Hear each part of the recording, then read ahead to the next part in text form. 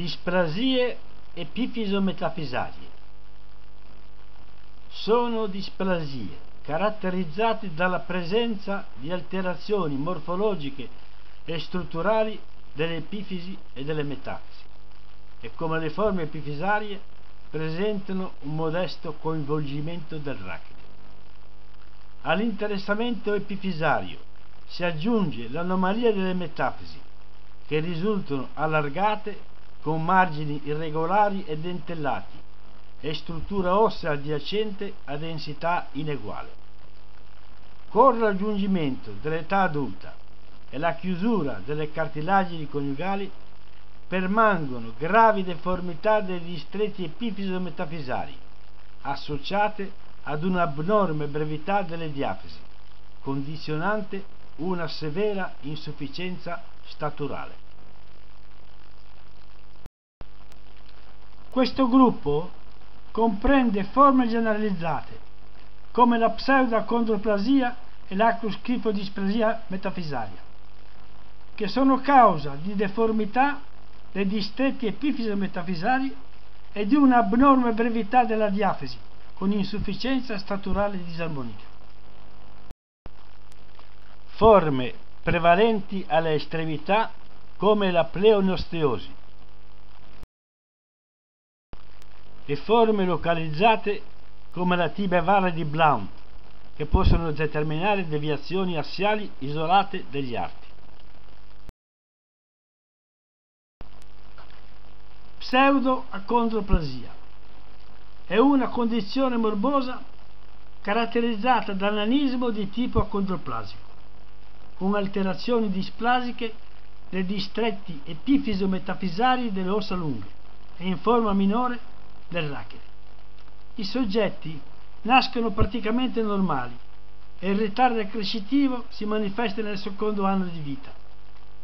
I sintomi principali sono costituiti da tronco di lunghezza quasi normale con accentuazione della lordosi lombare, micromelia rizomelica con estremità corte e tozze e dita delle mani brevi, rigidità dei gomiti e delle anche, deformità in varismo dalle ginocchia, intelligenza normale, ritardo staturale grave, altezza definitiva variabile da 90 a 137 cm, con una media di centimetri 105.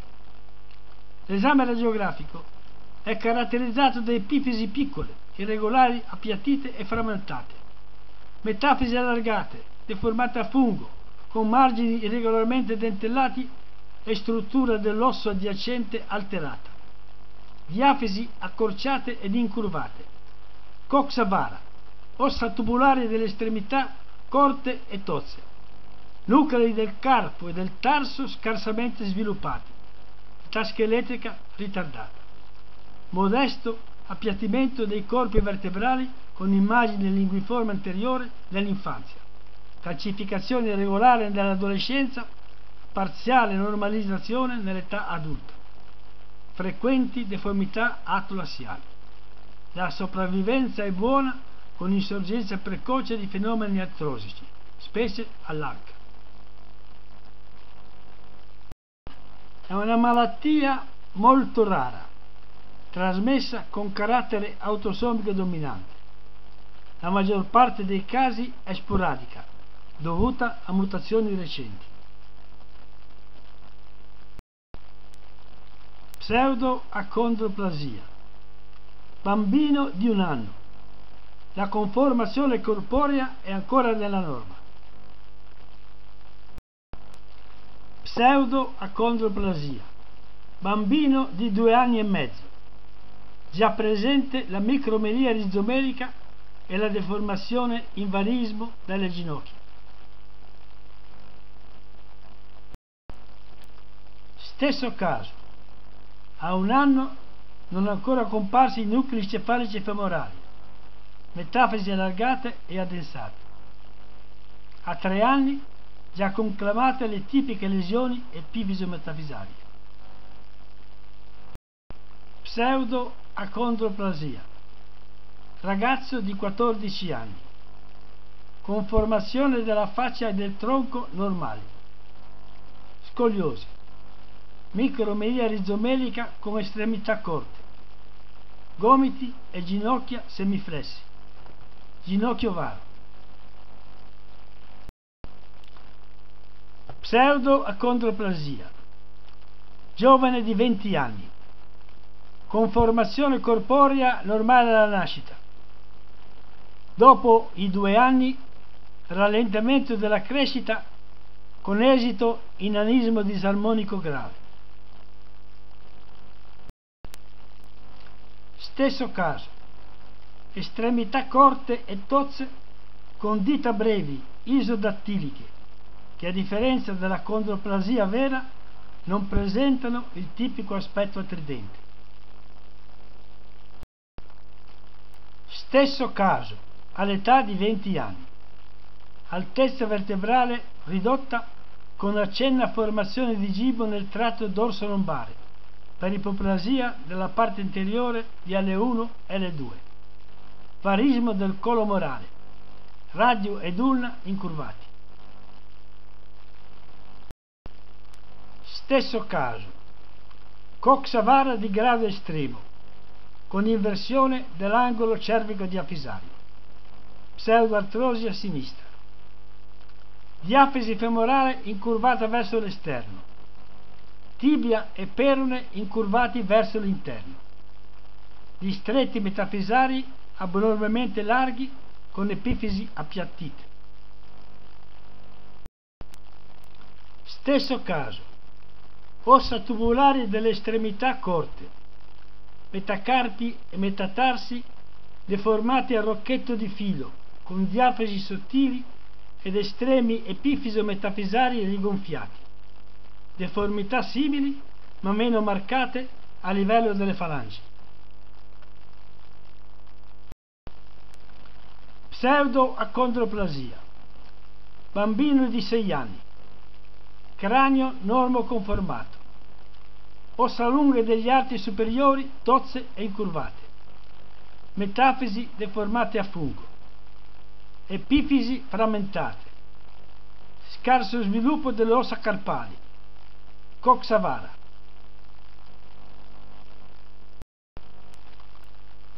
Stesso caso, spondili lievemente appiattiti con lamine limitanti ondulate ossa lunga degli arti inferiori accorciate con gravi alterazioni displasiche delle metafisi e delle epifisi. Pseudo-acondroplasia. Ragazzo di 14 anni. Ipoplasia del dente dell'epistrofeo. Plati spondilia cervicale, vertebre lombari ovaliformi. Stesso caso, scogliosi, diafisi corte, metafisi allargate. Stesso caso, varismo grave dei colli femorali, incurvamento del femore, allargamento dei distretti metafesali delle ginocchia e del piede. Pseudo-acondroplasia, giovane adulto, cifosi con plati spondilia, omero varo deformato a clava, ulla corta e radio incurvato. Stesso caso, isodatilia con metacarpi e falangi corte, ipoplasia dell'emipiato tibiale interno con varismo. Acro schifo displasia metafisaria è una peculiare forma di displasia metafisaria, con severa brachidatilia e caratteristica deformità a coppa delle metafisi del ginocchio. Si trasmette con eredità autosomica recessiva. Si riscontra alla nascita. I sintomi clinici sono costituiti da faccia appiattita, scogliosi, micromelia lieve agli arti superiori e grave agli arti inferiori mani corte e tozze con dita brevi, ginocchia flesse, piedi corti e tozzi. Il quadro radiologico è caratterizzato da brachi metacarpo metatarso falangia, femore corto e incurvato, metafisi del ginocchio sbasate a calice con margine metafisario ad accento circonflesso, nuclei epifisari del ginocchio deformati a cuneo, gola intercondiloidea triangolare e profonda. Esiste ritardo mentale e staturale. acro schifo displasia metafisaria. Bambina a 18 mesi e a 9 anni. Ritardo mentale. Arti inferiori corti con ginocchia atteggiate in varismo e in semiflessione. Estremità corte e tozze con dita brevi. Acro schifo displasia metafisaria. Bambina di 5 anni nanismo con brevità degli arti inferiori, statura centimetri 90, varismo e ginocchia semiflesse, mani e piedi corti con dita brevi, intelligenza ritardata. Stesso caso, abnorme brevità dei metacarpi, dei metatarsi e delle falangi, che appaiono massicci con estreme metafesari globiformi. Stesso caso, caratteristico aspetto cuneiforme delle epifisi distali del femore, incuneate nel profilo metafisario conformato ad accento circonflesso.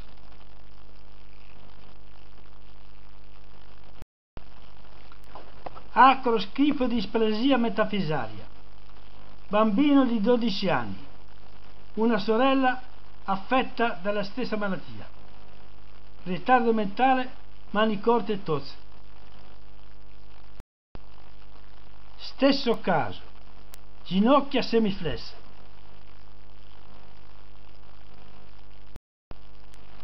Stesso caso all'età di tre anni. Stesso caso all'età di quattro anni.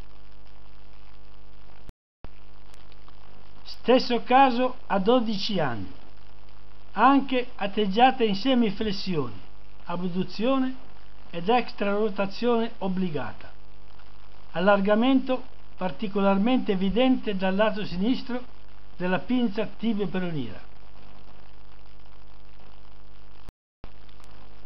Stesso caso a 12 anni, dopo interventi ripetuti di allungamento e di raddrizzamento degli arti inferiori estremo distale del femore deformato a fiasco di vino, epifisi tibiale superiore schiacciata con piatto articolare concavo, ginocchia rigide. Acro schifo di splesia metafisaria, bambina di 11 anni, sorella del caso precedente, ritardo mentale grave, mani corte e tozze, dita brevi. Stesso caso, all'età di due anni. Coxa valga bilaterale. Diafisi corte tozze. Metafisi del ginocchio larghe, deformate da centro circonflesso con nucleo epifisario triangolare. Ossa tubulare delle estremità corte. Stesso caso all'età di 8 anni dopo interventi di allungamento e raddrizzamento. Invariato il vagismo del collo femorale. Diafisi femorale incurvata e slargata nella metà inferiore con epifisi distale di forma conica. Epifisi tibiale superiore appiattita con superficie articolare concava. Stesso caso all'età di 8 anni epifisi superiori della tibia a forma di lamina, metafisi larghe e concave. Condrodisplasia metafisaria con epifisi a cono. Va distinta dall'acroschifo displasia metafisaria una sindrome, per molti aspetti sovrapponibile, descritta col nome di condrodisplasia metafisaria con epifisi a cono da Dieu Coslier nel 2003 caratterizzata clinicamente da bassa statura, brevità degli arti inferiori, limitazione dell'estensione del ginocchio e radiologicamente da epifisi a cono a questo livello, mani di lunghezza normale e intelligenza conservata.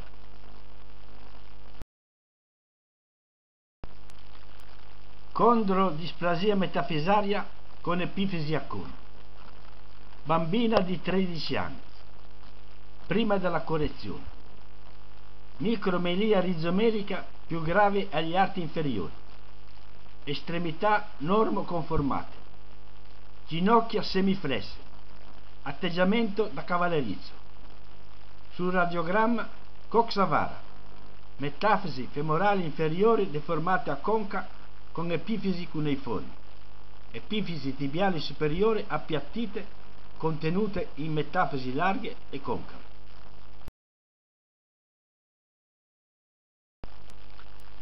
Stesso caso a distanza di due anni dall'intervento chirurgico di raddrizzamento e allungamento degli arti inferiori, con un guadagno in altezza di 21 cm. Permane l'atteggiamento in semiflessione delle ginocchia.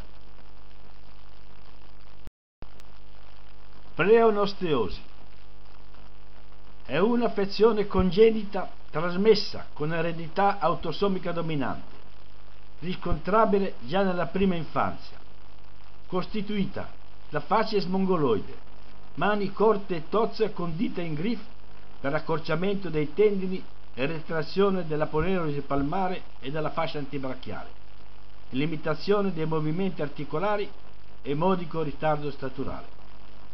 L'esame radiologico dimostra abnorme brevità delle ossa tubulari delle estremità con irregolarità delle metafisi e deformità delle epifisi. Pleonosteosi. Bambino di 7 anni. Atteggiamento delle dita delle mani e dei piedi in flessione. Limitazione funzionale della spalla, del gomito, del ginocchio e della caviglia. Caratteristico allargamento delle falangi. Tibia vara di Blount o ostocondrosi deformante della tibia. È una particolare alterazione sul tipo della necrosi asettica della porzione mediale dell'estremo epifise metafisario superiore della tibia, condizionante un ginocchio varo angolare. L'eziologia è eterogenea, con forme autosomiche dominanti e forme autosomico recessive. Il meccanismo patogenetico viene attribuito a uno squilibrio tra fabbisogno nutritivo dell'osso in accrescimento e insufficienza relativa del sistema vascolare regionale. Predilige la raza nera.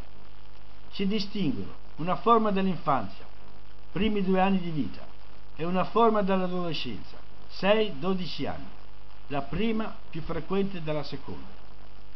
La sintomatologia è caratterizzata da varismo progressivo delle ginocchia, prevalentemente bilaterale nella forma dell'infanzia, unilaterale in quella dell'adolescenza, con angolo di curvatura subito al di sotto della rima articolare. L'asse femorale e quello tibiale giungono a formare tra loro un angolo di 120-130 gradi, aperto all'interno. A talloni uniti la distanza intercondiloidea può raggiungere i 15 cm. Non esiste dolore né limitazione funzionale. La reambulazione è dondolante nelle forme bilaterali, claudicante in quelle unilaterali. I piedi sono intravoltati e pronati. Lo sviluppo psicofisico è normale. Le manifestazioni radiologiche iniziali sono costituite da irregolarità della parte mediale della cartilagine coniugale prossimale della tibia, con successiva riduzione di altezza della metafisi sottostante. E quindi schiacciamento cuneiforme dell'adiacente nucleo epifisario e formazione a mensola della parte mediale della metafisi. L'asse diafisario non presenta incurvamenti, dipendendo il valgismo esclusivamente dalla deformazione della metafisi. I casi non trattati evolvono verso il varismo definitivo e la precoce comparsa di fenomeni artrosici. La prognosi è più favorevole nelle forme precoci. Per distinguere la tibia vara di Blount dai varismi del ginocchio di altra natura è importante la misurazione dell'angolo tibio-metadiafisario TMD, formato dall'incontro di una linea perpendicolare all'asse longitudinale della tibia e di una linea che unisce gli spigoli laterali della metafisi tibiale prossimale. Un angolo che supera gli 11 gradi depone a favore di una tibia vara di Blount. Tibia vara di Blount. Bambina di 4 anni. Stadio iniziale. Lievi irregolarità della cartilagine coniugale tibiale nella metà interna, con modica riduzione di altezza della sottostante metafisi, che sporge più della norma. Iniziale deformità a cuneo della parte corrispondente del nucleo epifisario. Tibia vara di Blount, bambino di 3 anni, metafisi tibiale interna sporgente con iniziale curvamento dell'osso sottostante. Tibia vara di Blount, bambino di 3 anni, metafisi mediale della tibia deformata a mensola con evidente varismo sottometafisario. Tibia vara di Blount, bambino di 4 anni, forma conclamata con grave deformazione metafisaria e varismo estremo.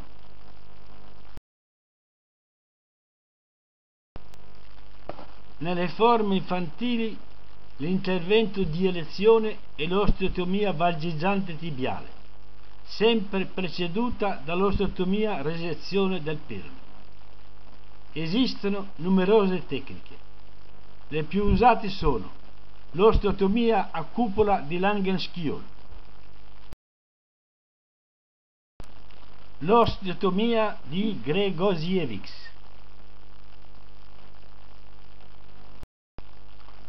l'osteotomia di Stören, l'osteotomia di Sasaki, l'osteotomia di Roy e l'osteotomia di Valdiserri. Tibia vara di Brown, osteotomia a 5 anni recidiva, reintervento a 10 anni, controllo clinico a 13 anni.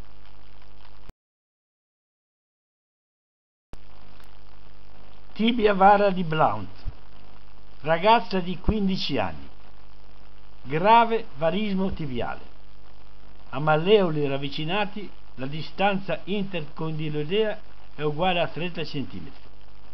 Quadro clinico prima e dopo intervento chirurgico correttivo.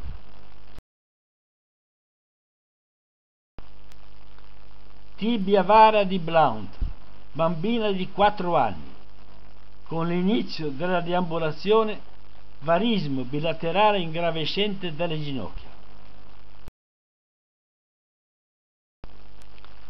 Stesso caso, correzione della deformità dopo intervento di corticotomia tibiale a cielo chiuso e osteotomia peroneale.